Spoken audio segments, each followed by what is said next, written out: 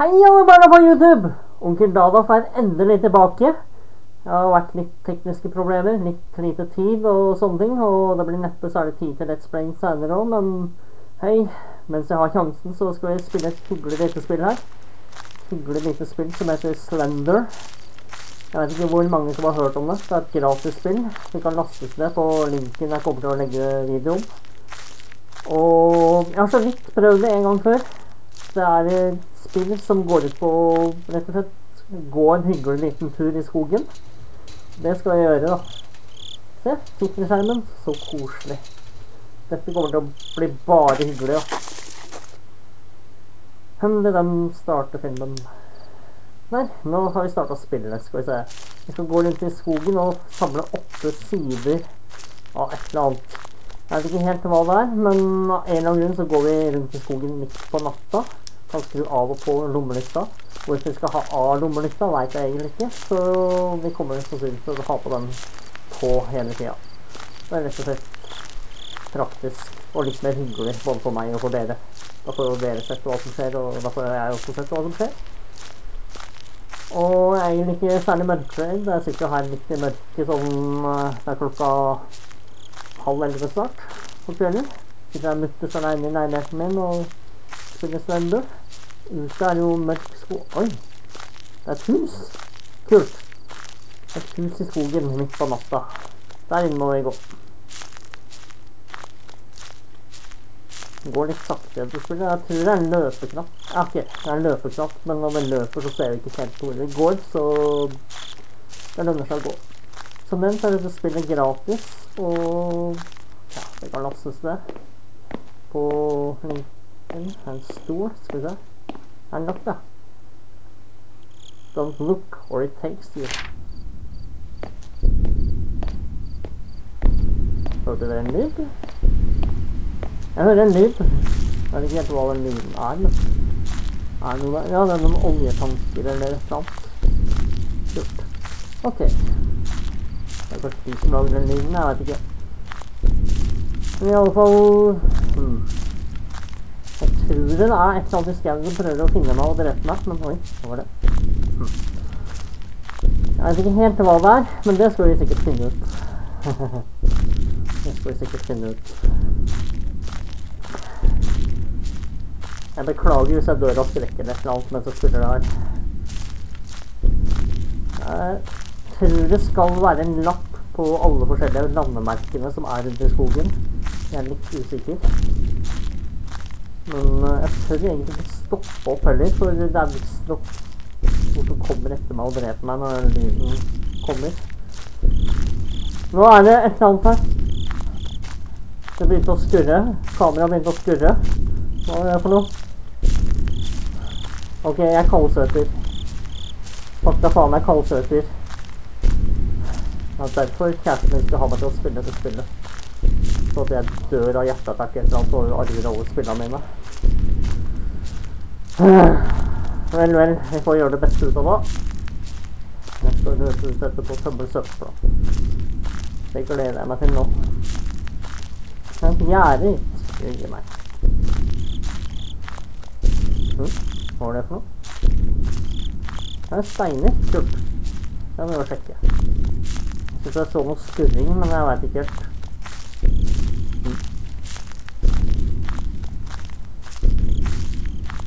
med steiner her. Jeg burde kanskje ikke spille det spillet med headset og lyden på så veldig høyt, men uh, jeg har mikrofon på headset, så uh, jeg tror det skulle være en lapp et eller annet sted her. Der, ja. Help me. Smart å bare henge opp en lapp hvor det står 'help me' på. Jeg vet ikke engang hvor det er, hvem jeg skal hjelpe. Hm? Nå ut inn igjen. Jeg må kanskje ikke gå bakover. Hva var det? Hva var det?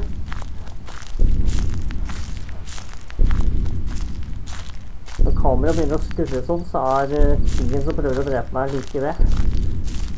Jeg var litt paranoid av minner der. Ja. Ok.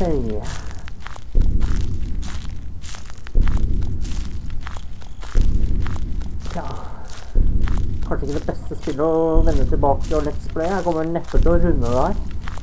Og for å være ærlig så vet jeg ikke hvor mye jeg orker å spille av det her. For jeg blir øh. Det er et eller annet jævlig stressende med det.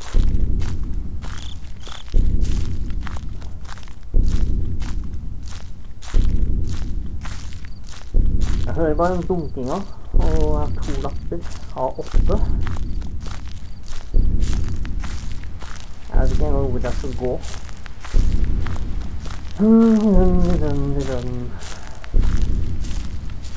Det er fine stjerner nå på himmelen. Sikkert ikke der jeg bør se.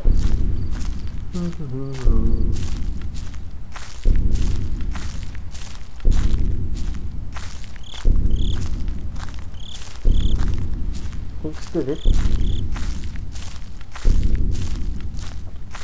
Jeg liker ikke at bildet skurrer sånn. Nå skurrer bildet enda mer. Hva er det?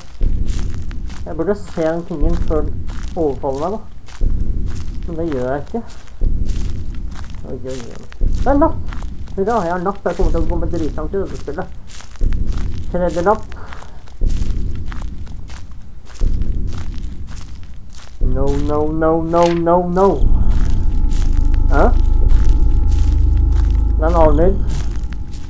er to ting som prøver å drepe meg. Hva?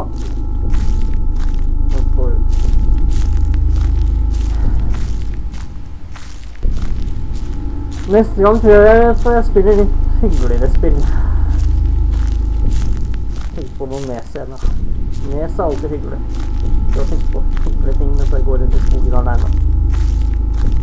Det liker ved her. Og kjenner jeg trenger å lufte, men jeg vet ikke om jeg orker å sette opp vinduet nå. Jeg mener, orker å sette opp vinduet. Det er så mye bry å reise seg fra stolen, mener jeg. Gå ut i mørket alene og åpne opp et vindu. Se ut i natta. Ut i trærne. Ut i batteri. Alt er så trygt og godt.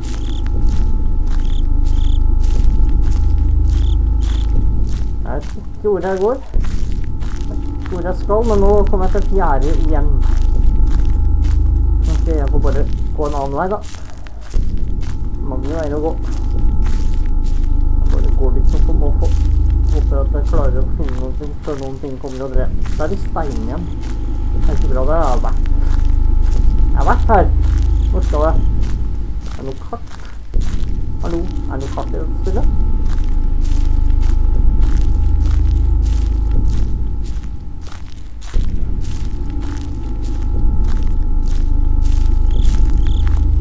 Øh, Ble skremt nå? Prøver å skremme han dukker opp så plutselig ut av det blå. Det er sikkert han som løper rundt her.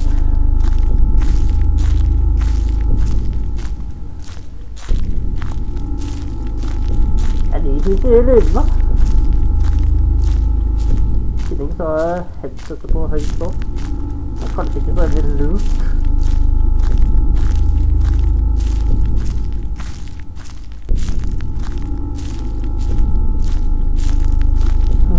Hvor skal det gå, hvor skal det gå? Da kommer jeg til enda et gjerde. Gjerder overalt. Mhm. Jeg har ikke sett noe særlig ennå. Jeg veit ingen er ute etter meg. Jeg vet ikke hvor den er. Før den nærmer seg. Jeg vet ikke hvor den er når den nærmer seg heller. Det er det som er litt skummelt. Mhm. Sa jeg skummelt? Jeg mente stressende. Ha-ha-ha.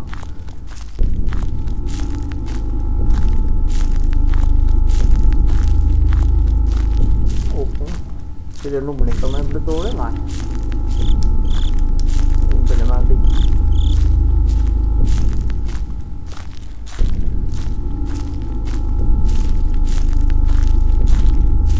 Jeg trenger flere lapper. Hallo? Lapper.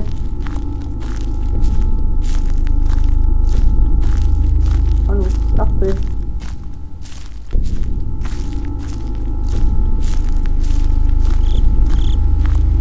Hem, hem, hem.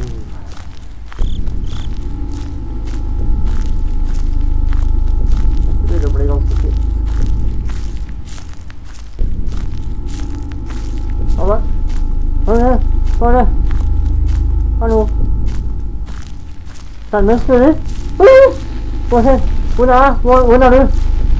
Hvor er du? Hvor er du? Hvor er du?